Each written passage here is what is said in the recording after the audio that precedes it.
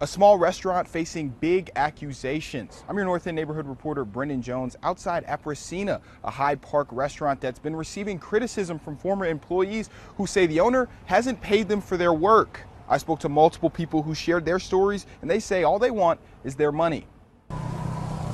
Will workers at this North End Boise restaurant get their wages? It's a topic that caught my attention when I saw a local Facebook post going viral. The person who posted it alleged that she worked at Apericena in Hyde Park for five days in January, but never saw a paycheck. So I sat down with Channy Mosier to hear her out. She says the red flag started flying on her first day on the job. It was payday.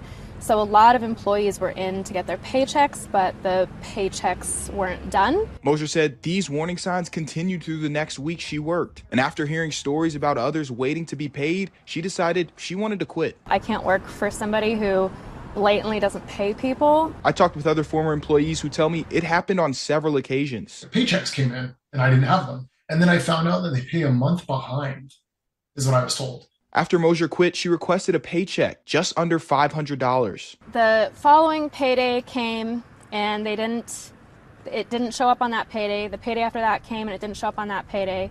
Um, and so I submitted a claim with the Idaho Department of Labor in February. Mosier shared those documents with me. And the total award they said, $964. The original amount almost doubled because Mosier was awarded penalties. She says two months after she made the claim, she still hasn't seen any money. Mosier wasn't the only one to bring her concerns to the authorities. While digging through court documents, I found an active small claims case against owner Danielle Christine here in Ada County. It says a check was paid for $444, but it bounced, so she claims she's still waiting for her wages. So I spoke with the woman who filed the suit.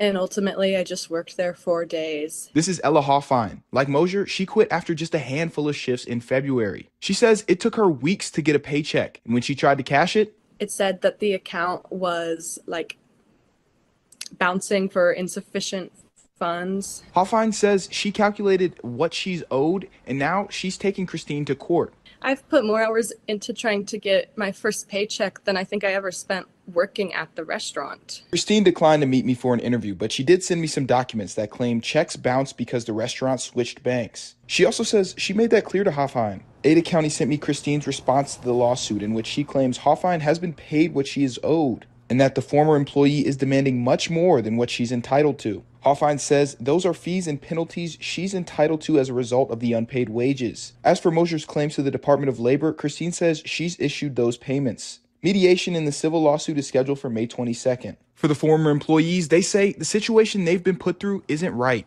A couple paychecks isn't a big deal to her, but that could be a make or break situation for somebody trying to pay rent or take care of their families. Former employees have organized a demonstration outside the restaurant Friday night at 6 p.m. Reporting outside at Apericena, I'm your North End neighborhood reporter Brendan Jones for Idaho News 6.